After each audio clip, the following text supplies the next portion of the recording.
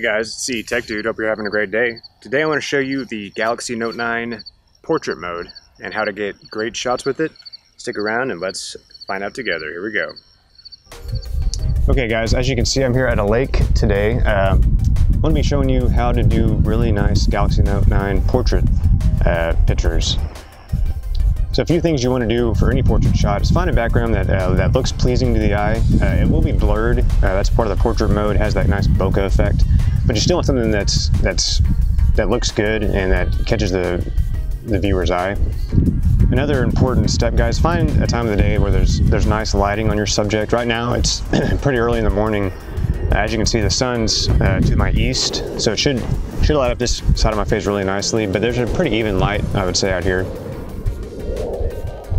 One cool thing about the Galaxy Note 9 that I love is that the S Pen can be used as a shutter. So you can take really, honestly guys, you can take nice portraits of yourself um, if you don't have anybody around. So it, that helps. So I'm gonna go ahead and get started guys and show you a little bit about what you need to do to get that portrait mode. So here we go.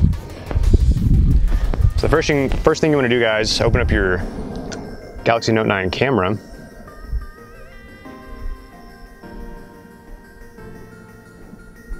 either by double clicking the home button, either by double clicking the power button or going to the camera icon down here in the corner.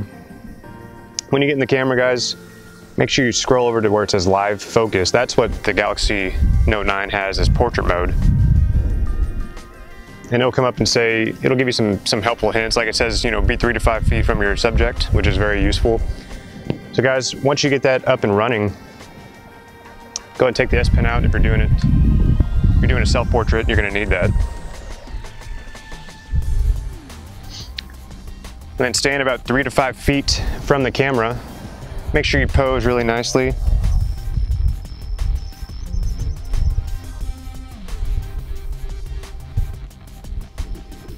And click that S Pen for the remote, and you should have a very nice, very nice uh, portrait mode, guys. Let's see what that looks like.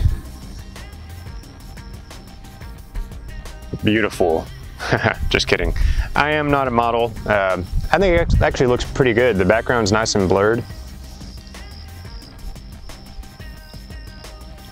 Like I said, the left side of my face is very, very well lit. The right side's a little, little dark. You get that Rembrandt light going on.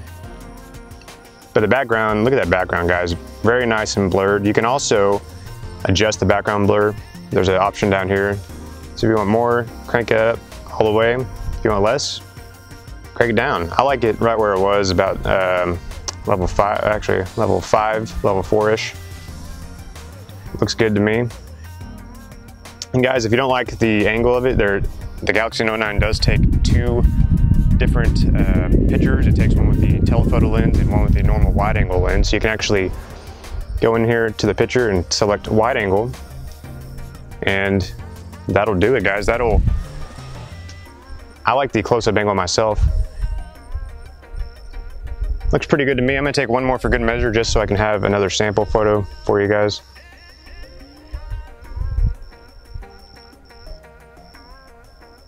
Maybe pose a little differently for you.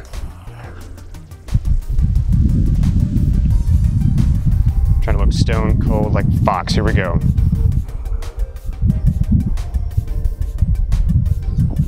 Think that'll do it, guys. Let's see what that looks like.